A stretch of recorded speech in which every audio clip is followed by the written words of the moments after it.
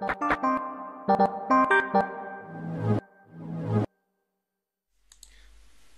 this is a tutorial on C programming. It's a series. I'm going to try to keep each video as short as possible, so let's get straight to it. I'm running on a Debian system, but uh, whatever distro you're using, use your package manager. The only package you should have to install for most of these tutorials is we're using GCC as our compile. So sudo apt install GCC or whatever you use as your package manager. I already have that installed, so I'm going to go ahead and, and I'm going to use Vim as my text editor, but use whatever text editor you like, and I'm going to create a um, file called hello.c. And we're going to do our first little hello world. So in here, I am going to do my first line. I'm going to say pound include and then space and inside these uh, greater than less than symbols I'm going to say stdio standard in out uh, header and that's going to give you all your basic little commands now we need our main function your main function is going to be the function that runs in first in your C program. And then if you have other functions, it will usually be called by main or one of those subfunctions. So what we're going to do here is we're going to say int for integer. Uh, a function, it's going to return something. It's going to return either a 0 or 1, whether it failed or was successful. We're hopefully only going to be successful because all we're going to do is say uh, print f. And in parentheses here, and we're going to end each command with a semicolon, in quotations, we're going to say hello world. Now, uh, then we want to return zero, meaning success. It made it to this part, it's successful. Now, I did not put a new line character at the end of this, and printf does not. So what does that mean? So I'm going to save this, and I'm going to use GCC to compile this. So GCC, the name of my C file, dash O for output, and we'll call our executable hello. If you're on a Windows machine, you'll want to do hello.exe. So we'll do that. And I forgot to put a semicolon at the end of this command here. Now we should be able to compile that.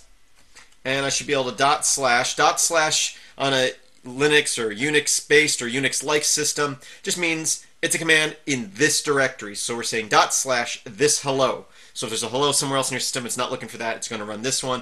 Going to run that, and it says hello world. Now you see this little percent sign? Uh, in my particular shell, that's what's showing there was no new line character. What does that mean? So I'm going to go back in here. If I copy this command, so now it should say hello world and then hello world. I'll save that, run our GCC command again. We'll override without any prompting, so make sure you want to override your executable. I'll do dot slash hello again, and you can see it said hello world, hello world without any new lines. So if you want to have a new line character at the end of your um, text, which I would say most of the time you probably do, you want to use backslash n for new line character.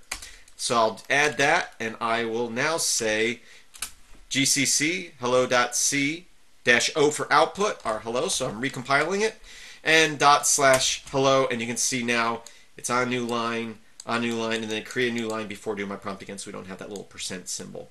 Depending on your shell, you'll either get something like this or this prompt right here will actually be up here. So you want that new line character in many cases. But it all depends on your code.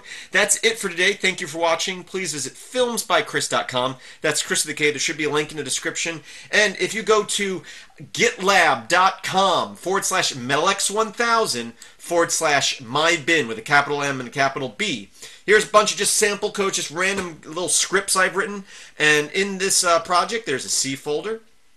Click on that, and there's one called tutorials. You click on that, and it will have all the uh, ones we're going through. So you can download this package, this project, and this hello command here is basically what we just did. So you can download those. There's a uh, compile sh here that just loops through them and compiles them into this bin folder here. So we'll have the executable 2, obviously compiled for my architecture and operating system.